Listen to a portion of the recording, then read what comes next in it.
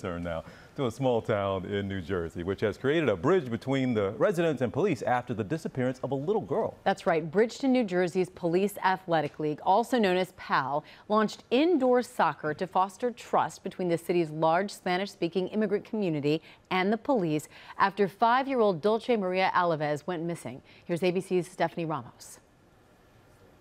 Welcome to Bridgeton, New Jersey, a small rural town just about 45 minutes south of Philadelphia. It's an old city, off the beaten path, with about 24,000 residents. Farms and fields take over the landscape. More than half of the people who live here are originally from Latin America. Shops, restaurants, and grocery stores dedicated to Latinos line the streets.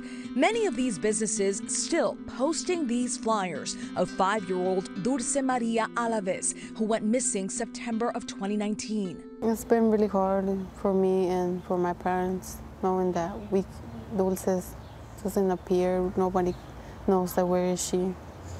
Dulce disappeared while playing at a nearby park with her brother, who was three years old at the time. Dulce's mother sitting in her car just 30 yards away. How do you remember Dulce? She was a sweet girl, nice, loving. She liked to pretend that she was always a princess. She, she liked to be around like smaller kids than her. Yeah, she was. She always liked to give hugs and kisses. Her mother, Noema, tells us there isn't a day she doesn't think about her daughter. I would say that I'm sorry for not looking over her. Investigators clinging to hope that Dulce is still alive. ¿Qué, qué, qué son mensajes para Dulce? Sí, son de la Biblia.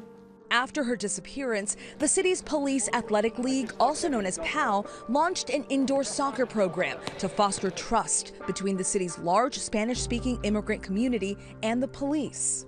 For the community, when everything started, they were scared that they were going to get deported because Bridgeton is mostly Mexicans.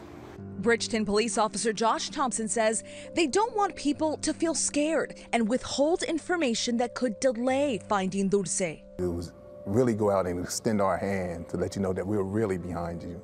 So we offered up some more programs. More than 40 boys and girls regularly attend the soccer practices. The program also offering counseling sessions, GED instruction, and nutrition classes for parents. I played soccer and it was always like a dream to me to play soccer with a team. De chiquito me inspira esto. Dulce's disappearance still on everyone's mind. Pasó con Dulce Álvarez afectó mucho a nosotros porque los trajo como una comunidad fu más fuerte y más unida. With the disappearance of Dulce Alvarez, this helped our community to be stronger and connect more with the people. And that's exactly what this program aims to do. That you don't have to worry about uh, if you're a citizen. If we're focusing on trying to find this young this young lady.